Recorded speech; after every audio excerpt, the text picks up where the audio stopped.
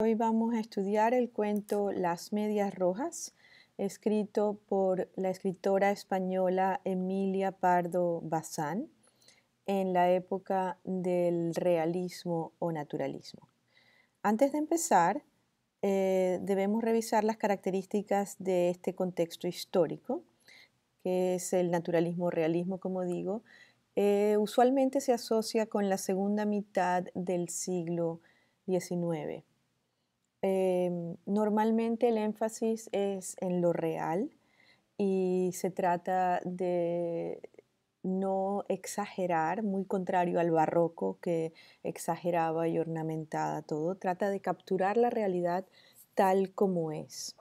Eh, no hay muchas reglas, eh, algunas de las cosas terribles, crudas, difíciles de la vida se exaltan en este se presentan en este ah, tipo de texto sin necesidad de tratar de ponerlas bonitas.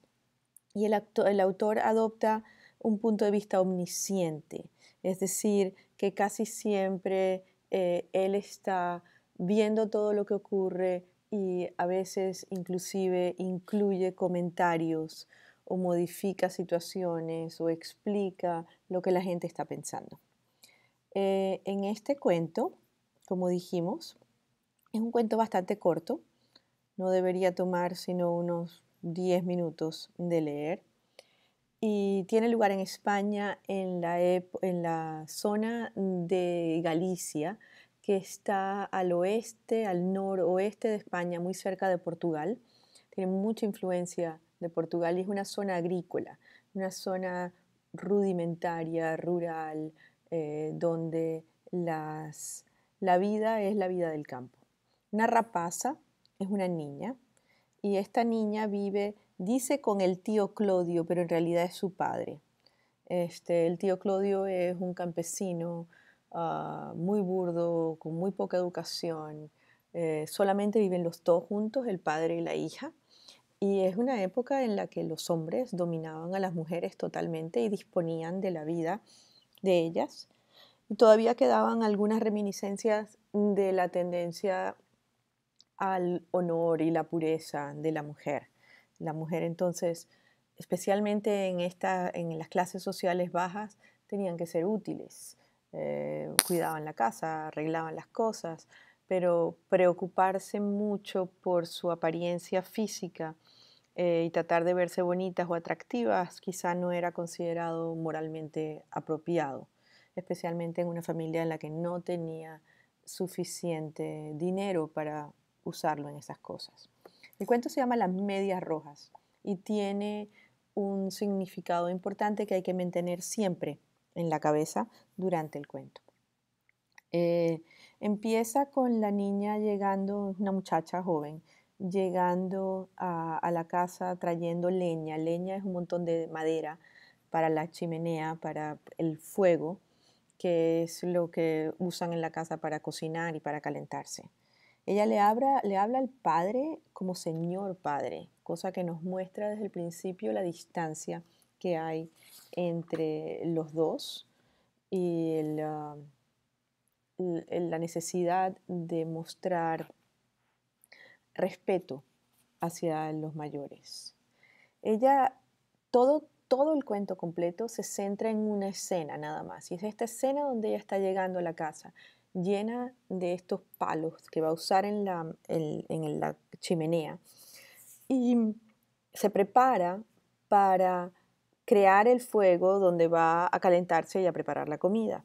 Y para eso se tiene que agachar. Yo no sé si alguna vez ustedes han preparado algún fuego, pero normalmente cuando la madera, la leña, no está seca, es difícil de que el, fuego arda, no prende, porque está húmeda y entonces lo que sale es un montón de humo. A veces cuando el fuego, el fuego se apaga, hay que soplarlo para darle oxígeno y de esa forma se vuelve a incentivar el fuego. Esto es importante porque metafóricamente es lo que ocurre en el cuento en relación a las relaciones interpersonales, a las relaciones entre el padre y la hija. La niña llega, se agacha se inclina y en ese momento la falda se le sube y el padre nota que tiene puestas unas medias rojas. Las medias tienen un significado importante, no solamente por el color que tienen, sino porque las medias son una de las prendas de vestir que son menos necesarias. Se podrían inclusive considerar un lujo. Uno puede vivir, uno puede vestirse y salir a la calle con toda la ropa menos las medias y no es un gran problema. El único problema va a ser que voy a estar incómoda, que posiblemente voy a tener frío. Pero en esta situación donde esta niña no tiene absolutamente nada, medias, tener medias es un lujo tremendo. El padre inmediatamente nota que la niña tiene medias y asume que las ha comprado y que ha gastado dinero, cosa que ellos no tienen. Y por eso se pone furioso. Hay algo más detrás de todo que después averiguamos y nos damos cuenta que es que ella ha comprado las medias porque ha recibido un dinero de un hombre que le ha prometido llevarla a América, donde el dinero corre por las calles. Y ella en realidad, nos enteramos a lo largo del cuento, tiene intenciones de escapar y crear una nueva vida en un lugar que le ofrezca más oportunidades, como sería los Estados Unidos o Norteamérica. Y hay un barco que va a salir de la costa, cosa que ocurría en esa época. Hay que recordar que en esa época en España la situación económica era terrible y al mismo tiempo la sociedad no permitía que la gente adquiriera nuevas eh, posiciones sociales. Uno nacía pobre y moría pobre y este era el futuro de que le esperaba a ella y precisamente por eso, siendo joven y teniendo fuerza y viendo la posibilidad de crear, de ver un mundo mejor, decide escaparse, pero no le puede decir al padre porque el padre no se lo va a permitir y ya lo sabe. Por eso ella tiene este plan. El padre de alguna manera quizá sospecha eh, o no le gusta quizá solamente que ella esté gastando dinero en lo que no debe. Y en la misma proporción en la que ella sopla al fuego para que el fuego arda, en esa misma forma similarmente se ve la emoción del padre y la rabia del padre, la impotencia y la furia que siente, que va exacerbándose y va subiendo en la misma forma en que suben las llamas del fuego. Llamas son flames.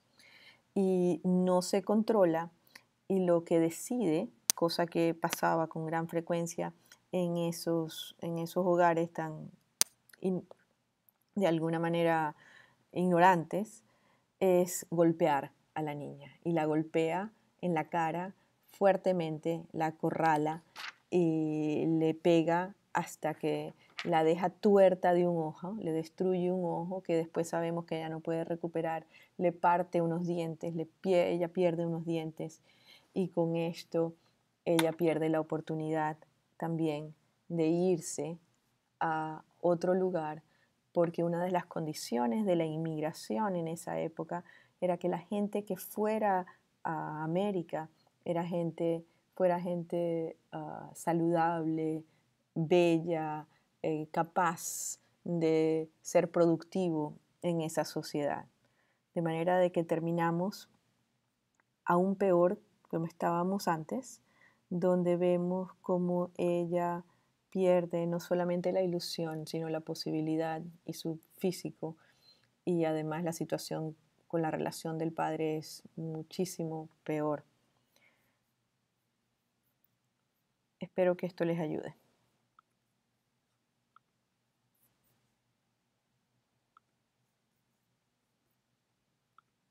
But I didn't do anything.